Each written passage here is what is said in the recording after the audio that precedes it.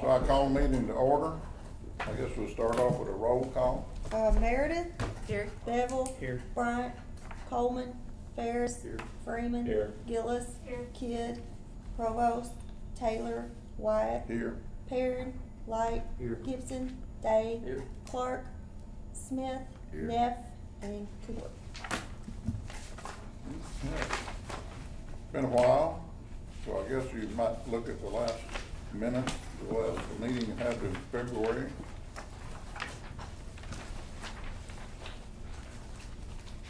Any discussion on that?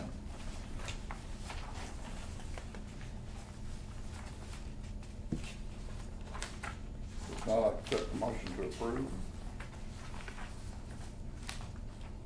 Unless we don't wanna approve it. So moved. Ah, okay. And second? I'll second. All right, cool. All in favor, say aye. Aye. Any opposed? All right. So now we got some new business.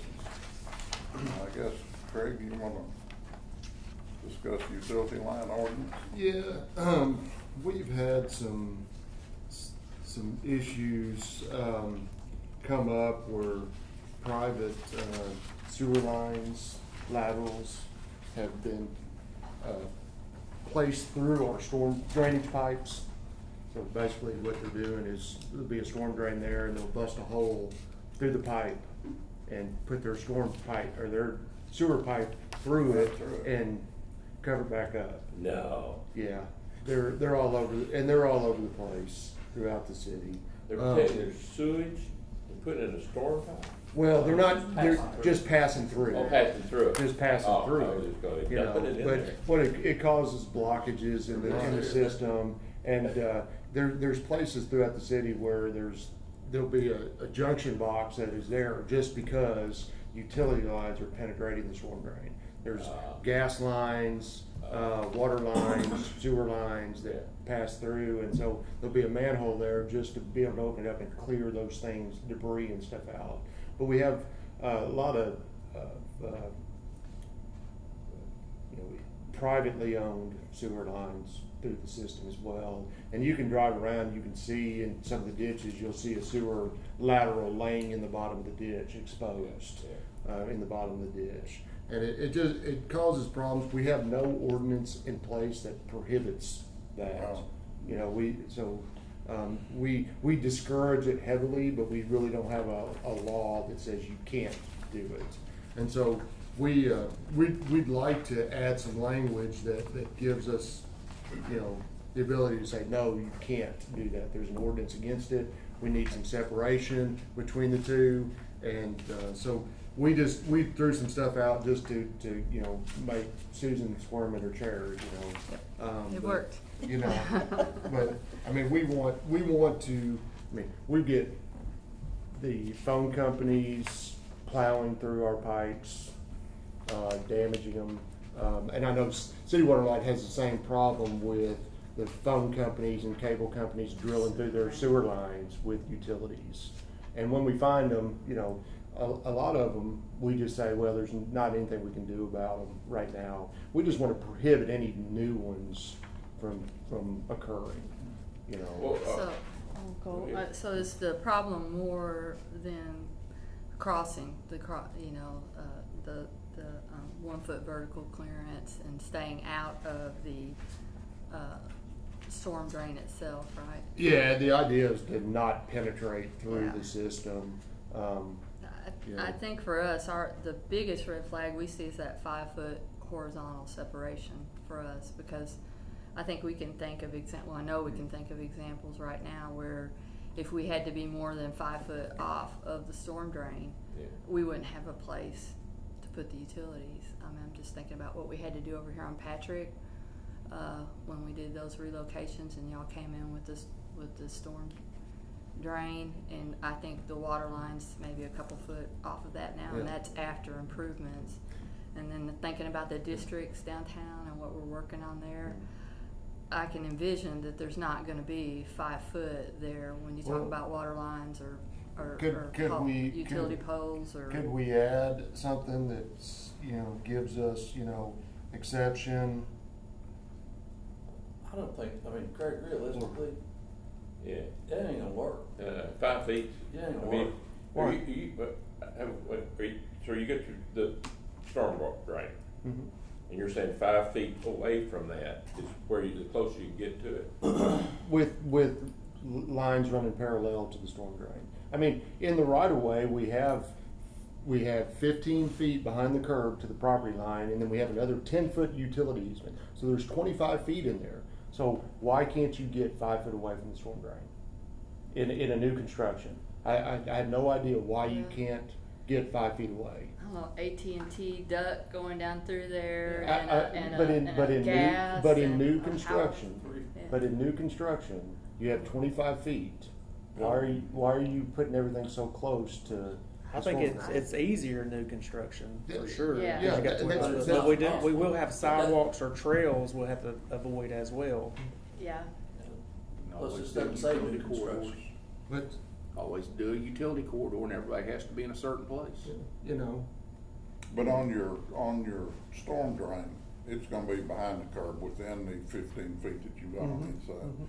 And so then the property line is fifteen feet behind the curb and you got a ten foot utilities. utility easement back there. Mhm. So, I mean, obviously you can't move your storm drain back away because you're dropping, you know, the water. You can. I mean, you do extended throats and, and Yeah, that everything would to, be- to get get them, but usually the storm drain's right behind the back of Right. the curb. Mhm. But you know, but it but in new construction, I mean, if we This put doesn't say new construction, Craig.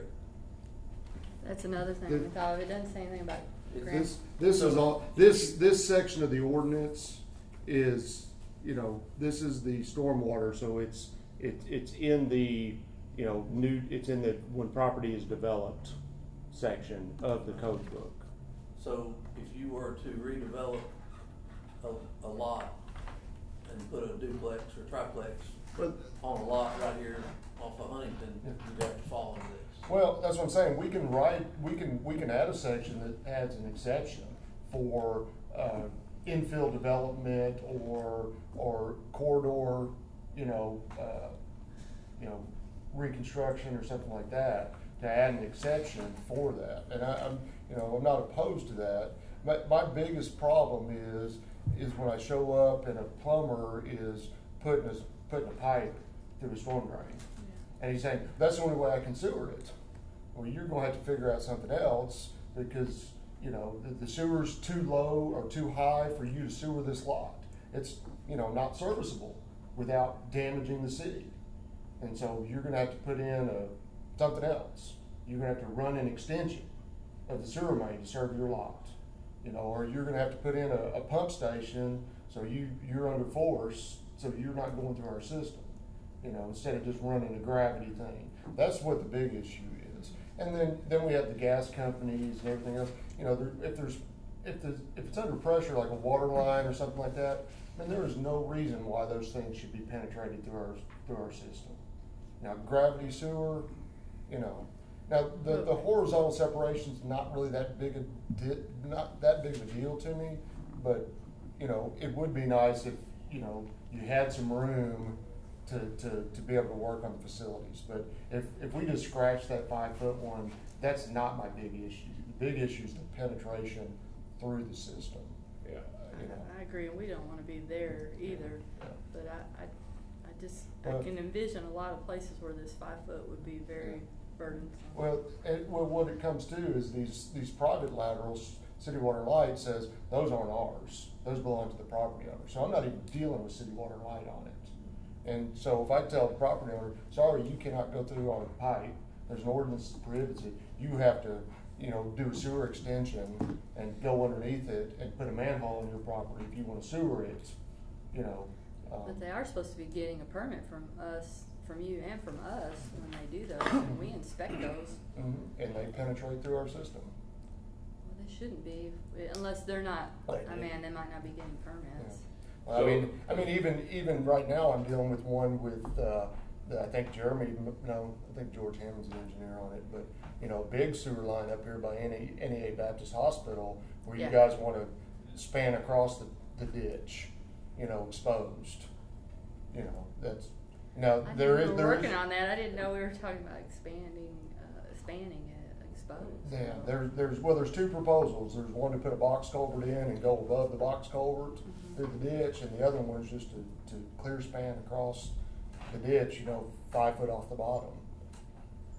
So, Is but- ours the box culvert idea? Is that They're- our idea? Grant, Grant sent both of them to me, but, you Hmm. know, but tho- those are problem issues, and I realize that, you know, the sewer system, you know, gravity wise, there's a ditch there, we gotta get through it, but, you know, w- we still don't need these penetrations that, that, through our system that are gonna cause long-term you're talking about problems. open ditches as well as, Closed systems, Pipe. yeah. I can't believe somebody would cut through a pipe though and leave it through there. It happens a lot. That's just amazing to me. Yeah, I, I never dreamed. I, I Well, never the, the real, Yeah, the plumber's one thing, but the real issue is directional bore. Yeah. Somebody's, Ah. somebody's rolling along, they don't have a clue. No, I have no idea. They're Yeah, through they there. go through the sewer. Ah, never thought of that, yeah, Yeah. yeah. So, anyway, we would like to see some language added to give us something. Now, what that language ultimately ends up saying, that's the reason why we're discussing it. We just, we're just throwing something out here to, to discuss. I mean, none of this is, uh, you know, if, if we can't get a foot of separation between them, And, and it's a good premise, I mean, it, it's a good concept, we'd like to be that far away from you so we can dig it up Yeah. and you can dig it up and Yeah. your stuff, it, but, um, I just, Is there anything magic about the five feet horizontal separation? No, there's really nothing magic about it, it's just trying to give everybody enough room to, to dig up without, you know, getting too close. I know that when, if a water line's closer to it and it's got a saddle on it going to the service, you know, and the pipe's up next to it, it's hard to deal with, you know, and there's no reason why we should be doing that in new construction. Now, if we wanna put, if we wanna put a, a asterisk for new construction, you know, and then add, you know, for existing retro of an existing developed corridor, then we're gonna do the best we can. Um, you know. The know, only thing I was concerned about is you got your water line here, you got your sewer line here, you got your, uh, your AT&T right here, and you've got your gas line right here. Hmm. Yeah, I mean, Yeah. and when you're all going together at, at, well, water, water and, or sewer, water and electric is usually on one side of the road, Yeah. sewer's on the other side of the road. new construction. You know, and new construction. Yeah. But, you know, health department says that you have to have, what, I think eighteen inches of separation between a water line and the sewer line? Well, storm sewer is a sewer line. It's not, a- oh. it's not a sanitary sewer, it's a sewer line, Yeah. it's a storm I sewer think line. eighteen inches would be more reasonable. Well, we said one foot. You So said you're five talking foot. about, No, the health department says there's supposed to be ten foot of separation between a water line and a sewer line. And we cut it down to five feet. That's what health department says about parallel Really? inspections. That one foot is, is horizontal, or vertical separation, and health department says eighteen inches. So we're actually sanitary less, sewer, not- san- not it's, storm it sewer. just says sewer.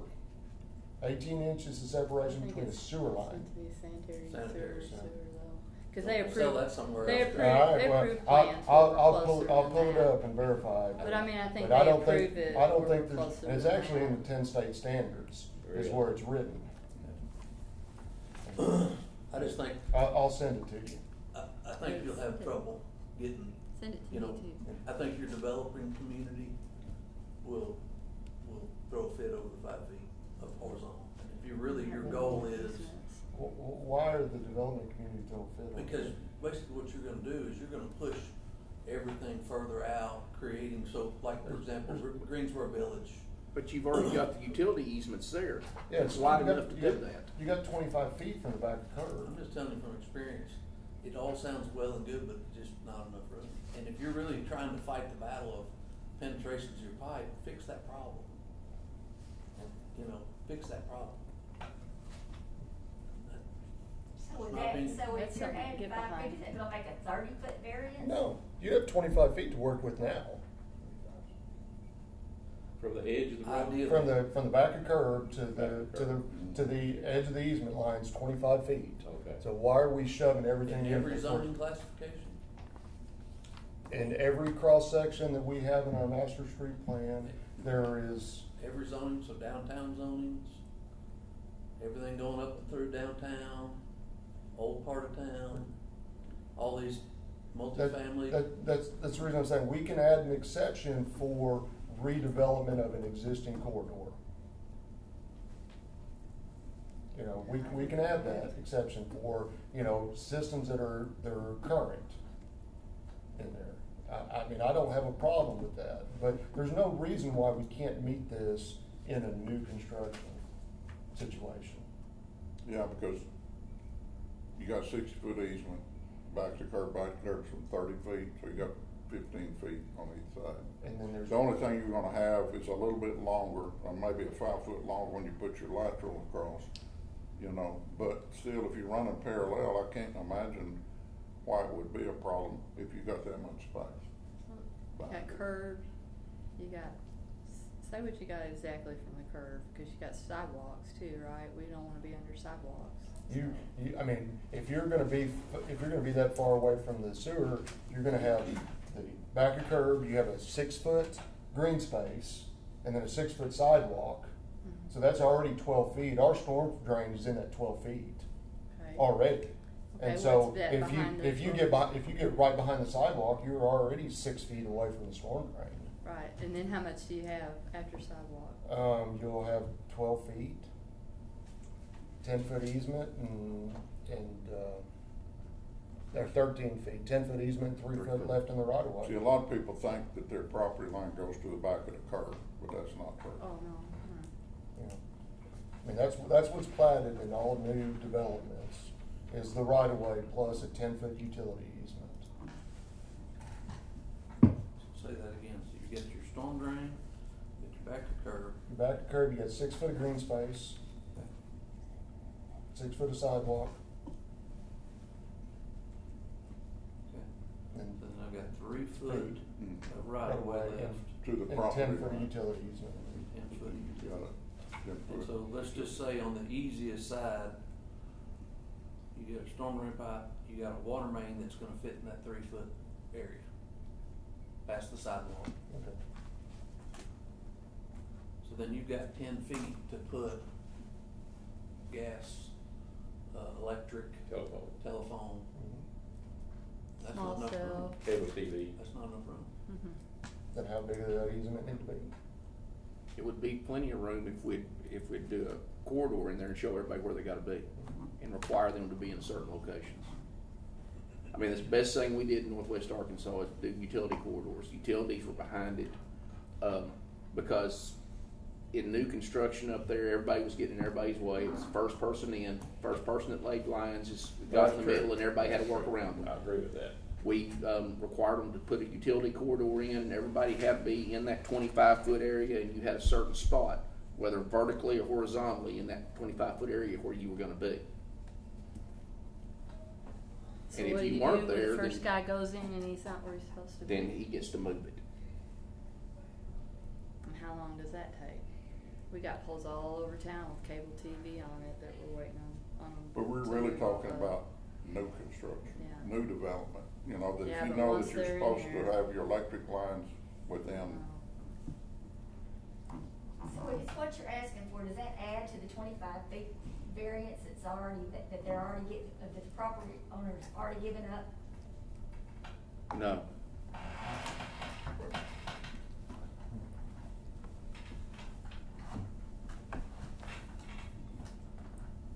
and really the property owner's not giving up anything. They never had the fifteen feet behind the curb. That's. That's always been city's right of way. right-of-way. And the ten foot utility easement, they own the property, but there's utility easement back at the front edge of their property line. But that's why I say, a lot of people assume their property goes all the way out to the curb, but it really doesn't. So if you had, what you're saying then, if you had, all right, the first person to go in is the water line. Second guy's gonna go in is the cable TV, third guy's gonna go in is whatever, and everybody's got their, their spot to go down. Right. New construction. You don't cut it, you don't cut everybody's lines that way, And everybody that's knows where true, you're at. that really is true. Can you find that Sure, language from Northwest Arkansas Yeah. for us to look at at our next meeting? yeah. and talk about it a little bit more. I I'd mean, like this, to talk to somebody that's got some experience Yeah. with dealing with something I mean, like th- that. this, is- this isn't something that I was trying to get you guys to pass on to city council tonight, today, you know, I mean, it was, it was mainly for the discussion of it, of a problem that we're, that we're seeing, and we'd like to find a, a regulatory type solution to it, uh, cause it, it, it is a problem for us. As a former developer, I don't see a problem having a standardized Yeah. wherever. But when you put that back there, anywhere within this fifteen feet, it could be Yeah. close to the curb, further back, or meandering Yeah. down through. I think a standard distance back. I think that's a would be- cool- cool idea. A like decent idea. Yeah. Uh, When I used to bear telephone cable, Right.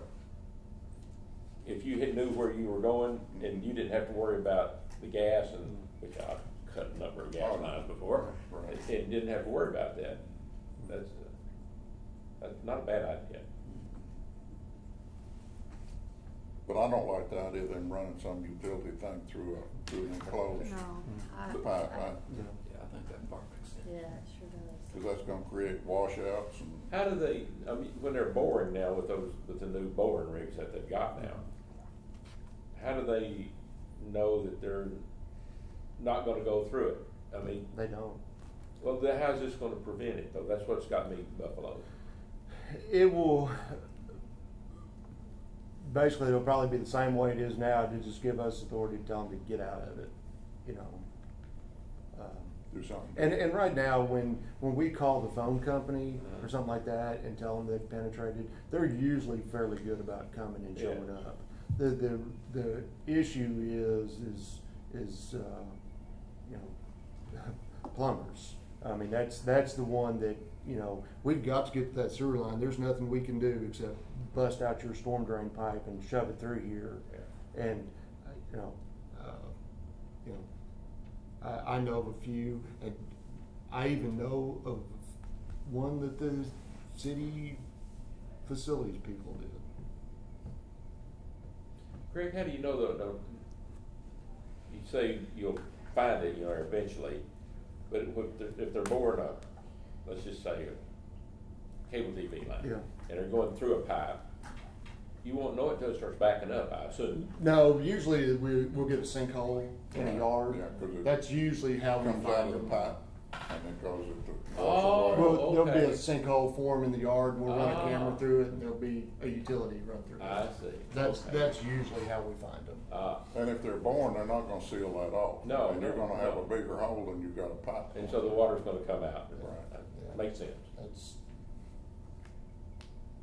I think it's something that should be done, but I don't know exactly. Yeah. Uh, as I, Yeah, Daryl, Daryl will get that language, we'll send it out so everybody can think about it another month, and, uh, we can kind of think about the exceptions that we, we might wanna add and clarify that this is for, for, you know, new construction and an exception for, you know, an existing developed corridor with existing utilities, you know, Yeah. uh, Good idea. sort of thing. Uh, I don't have an issue with that. So What- that sec- that section A in there, is that, that hasn't been altered at all, that, that language? No, that's the same, that's how the code reads Which I right didn't, now. I didn't, Yeah. I didn't look at it. What about pipes that are going across the ditches now? Is this grandfathered in, do they have to move those?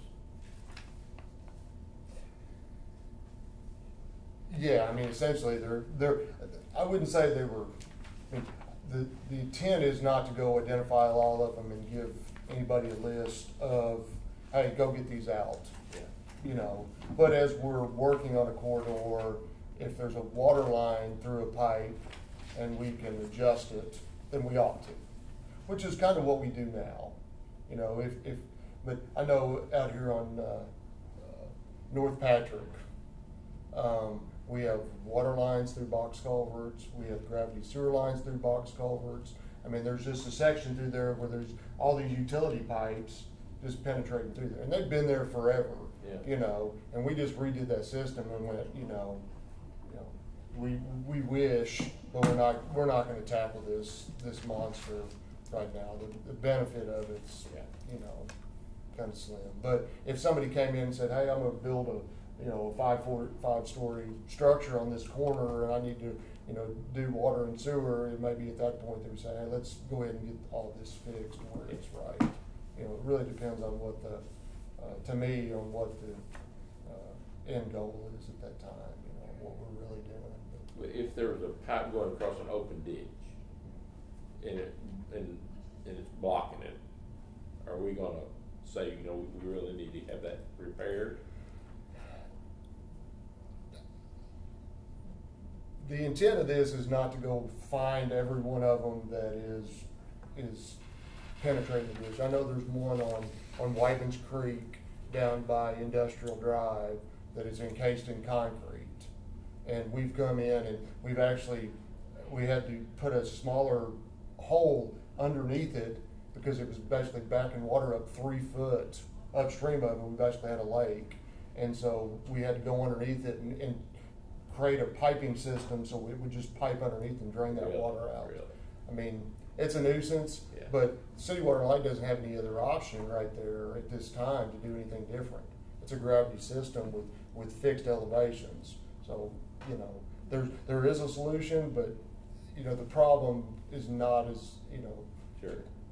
Gotta use your is- common sense You know, on some of it. yeah, there's, I mean, I don't know if we can add a common sense clause to the ordinance, but, you know. That would be good. You know, common sense clause, Yeah. we'll try to figure that out, you know. But I think that exception for Yeah. existing utilities, I don't wanna say anything's grandfathered in, that, you know, you're there by right. I've been there long enough, I'm there by right. No. Okay. You're, you're, you're in there because we, we hadn't told you to get out yet, Yeah, okay. you know. Um,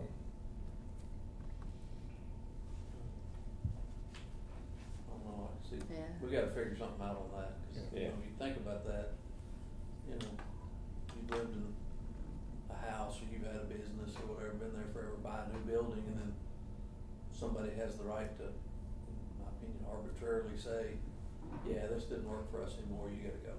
Here's another X number of thousands of Tru- dollars. Truthfully, none of these property owners have a right to be in the public right of way. These private sewer, these sewer lines coming across connecting the sewer s- system, they don't have a right to be in that public right of way. By right. There's no law that says. Have a lateral in a right of way? Mhm. But you got another city ordinance that says if they're within three hundred feet, I think it is, of the Yeah, sewer main, that- they've gotta connect to it. They've gotta connect to it, but that doesn't, that doesn't give individual property owners the right. The public right, of there's no law that says that an individual owner has a right to be in the public right of way. There's one that says utility companies have a right to be in public right of way. Um, you know, and now we've even got one where cell phone service, but there's no, there's no law that says an individual property owner has a right. So we have an encroachment permit that we Oh. issue by the city to give them permission to be in the right of way. And then we also have an indemnification clause in, that we make them execute that says, if there's anything that you're, if you cause any damage to us, we'll remove you, and we're not gonna, you know, and if you cause any harm to somebody, you're indemnifying the city for the harm you caused. And so that's how we allow people in the right of way. But these sewer lines that run across the right of way into the, into the sewer system, they're, they're there just because the city has allowed it. But they're not there by right. There, there's no legal right that they have to be in the right of way. So, I mean, the city could come and, and, not that we would by any means, you know, start disconnecting people, but they're not there by right. Um, But you would assume that they've been given authority by the city to be there when they did it.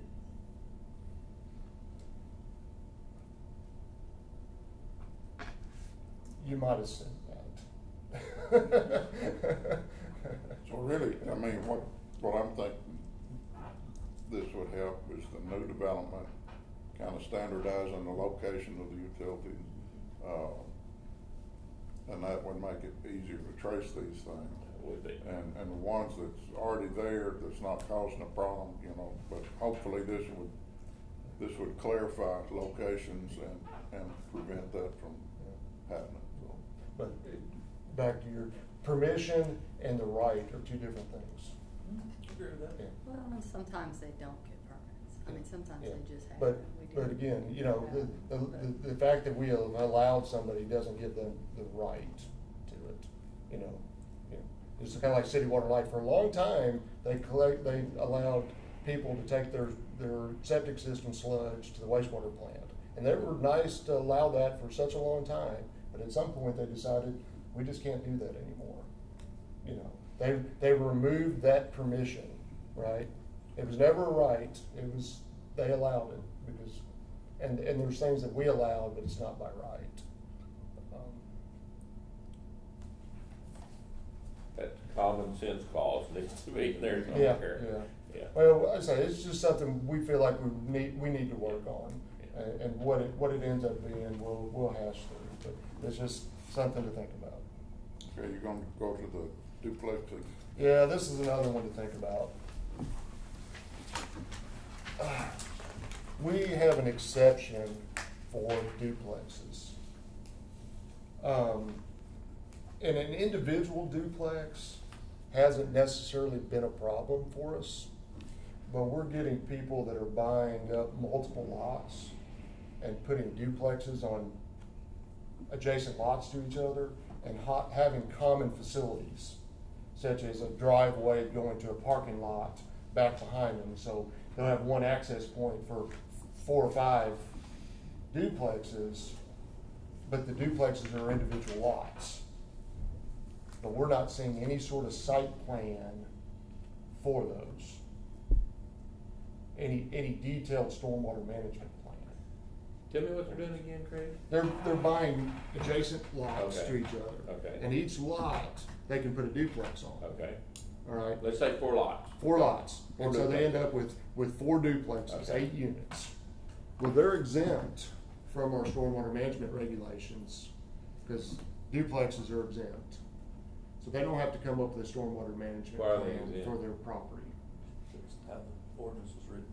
Uh, So if you, if somebody came in and said, I'm gonna have one lot, I'm gonna put five units on it, and they're- all gonna be duplexes, we would get a, a stormwater management plan for that site. yeah.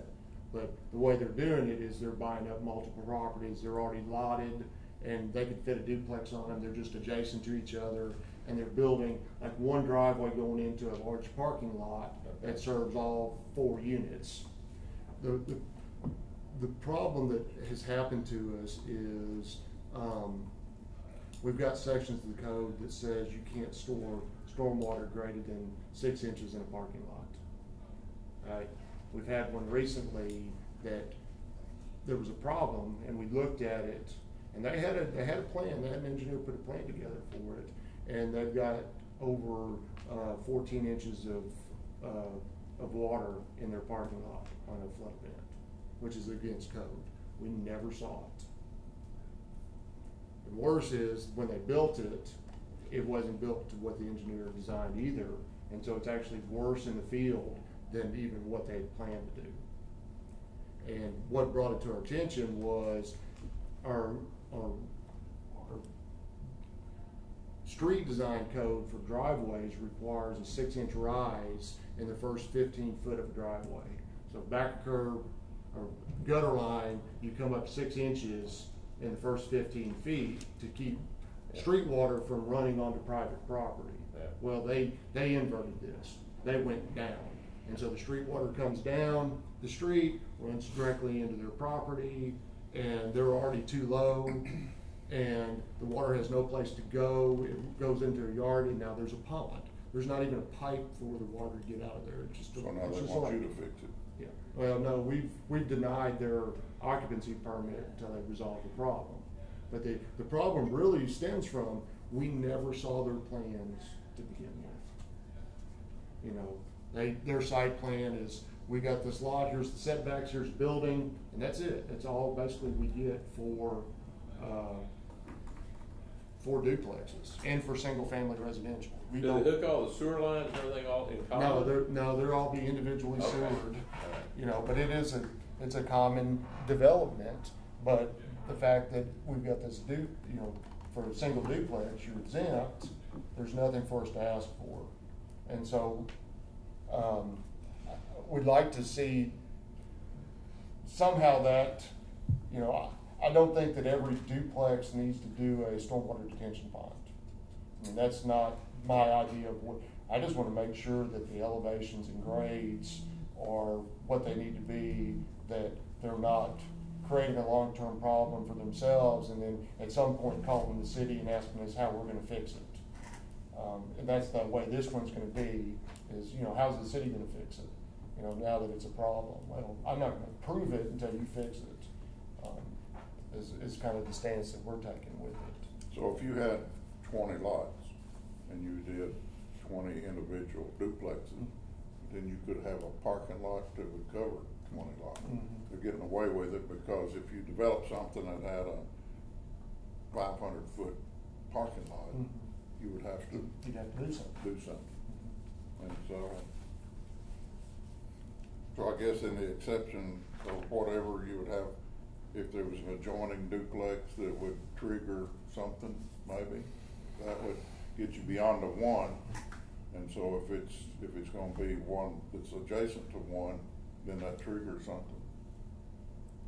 I don't know if we put some sort of common development clause or something in there, unless it's a common development. Um, uh, you- It's hard to say by, you know, uh, by the same owner, um, because they could all, they could Yeah. create five different corporations and each one build one, you know, and it might be cheaper just to submit a plan than create five different corporations, but, um,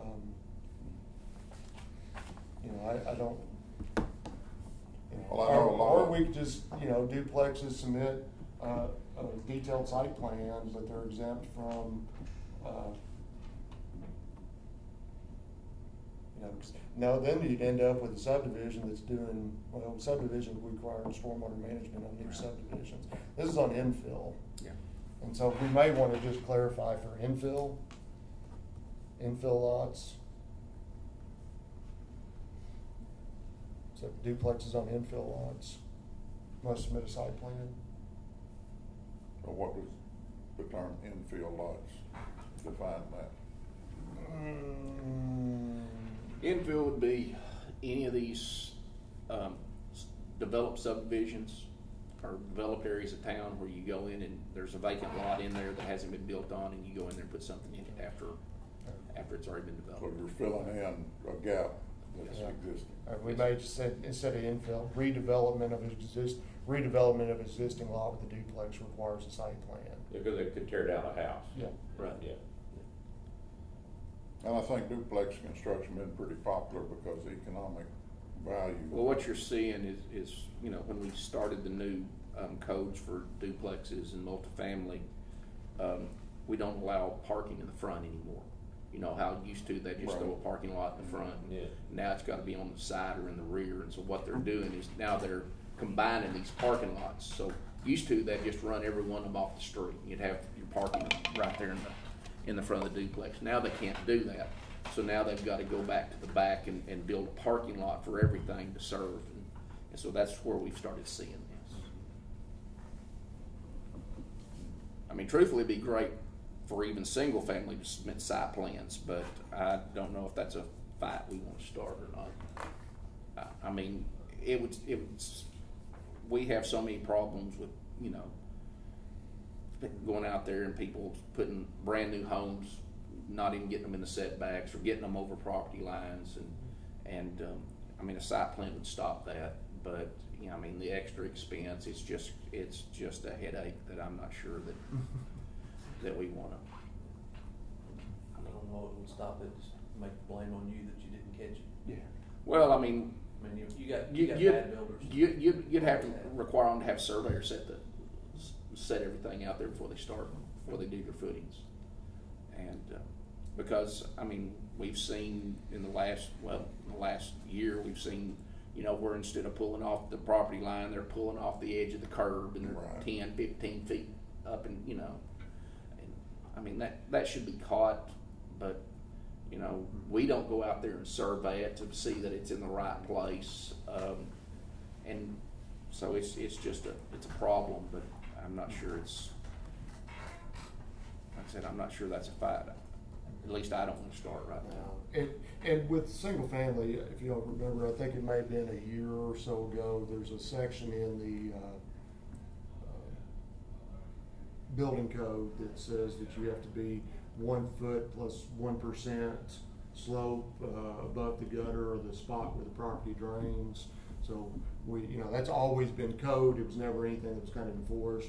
We, city council passed a resolution saying we, we're gonna start enforcing that now.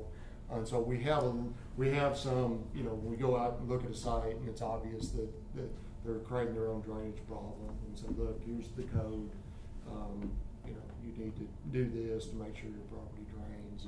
And so I think we're getting, we're getting better results with the single family drainage wise.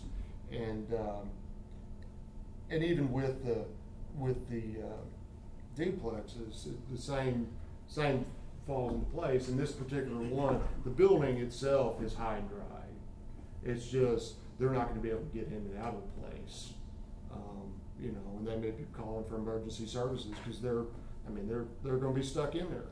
You know, the water's gonna be, you know, eighteen inches deep around, and their cars are probably gonna get wet.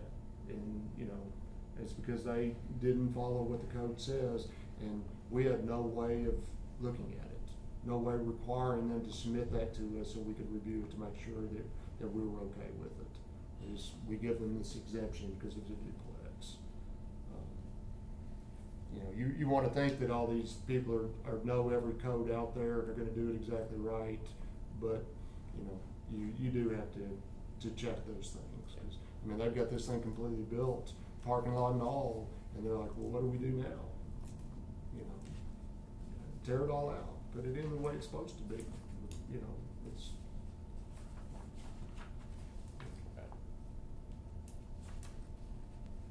So y'all gonna develop some language and we'll talk about it? Yeah, yeah, so we, we'll look at how we add, uh, redevelopment of existing lots and site plans, but those, those are two issues that have, that have come up. They, they've been nagging issues for a while that we'd like to, to try to work on and come up with a, a better way to, to do it, um, if we can.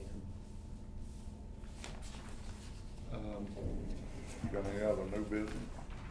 Uh, no, I don't believe there's any new business. I do have one piece of old business.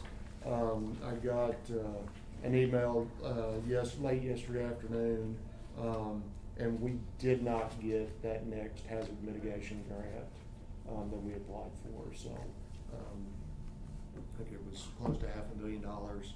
Uh, we didn't get funding for it, so, uh, maybe we'll, What was that project you were gonna do with that? That was, there were about four or five houses that we were gonna tear down. Yeah. Um, additional houses that were repetitive loss, but like I said, we didn't get them all this time, so. We'll, we'll reapply on the next cycle, maybe we'll get it. Craig, how many repetitive loss houses do, do we still have? Uh, I, the number is in around twenty, I think. Uh, we took care of our severe repetitive loss ones with that first grant. And so we still have some, we still have repetitive loss structures, but How much does it cost to tear down a house, depends on the size of the house. ballpark? Um, they've been running less than ten thousand dollars, ten, twelve, maybe, something like that. I didn't think it'd be that much, but, Yeah. Well, disposal, you gotta dispose. Get it down, move it off. yeah. Use, you know, if there's asbestos abatement or anything like that, the price is gonna go up too, but, um, the typical house, I think we've been spending like six to eight I thousand and then. thought, I thought seventy-five hundred was the last That's, one. that's the number that I thought. Yeah, six, six to eight thousand and disposal. Yeah. Unless you of got a basement, then you got added cost. Yeah. Any other old business? I'll mention one thing, we talked about going on a bus tour, but with the coronavirus lingering around, until that gets cleared up, I'd say that we shouldn't be in that kind of close proximity, but still something we wanna do. Cause I know, uh, uh, Coleman was wanting us to go out and, and look at North, area, which I think we should do, so anyway. Any other communication? I just wanna go see some of these boring rigs that went through the pipes. Yeah, I don't know how they do that. Just drive around, man, they're all over the place.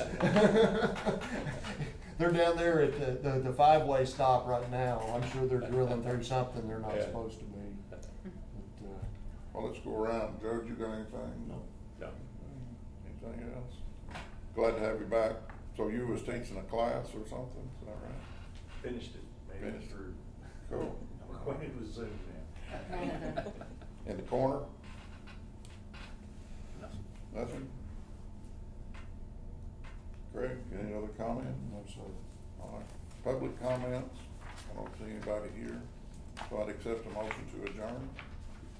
So moved. So moved. Second. Second. All in favor say aye. aye. So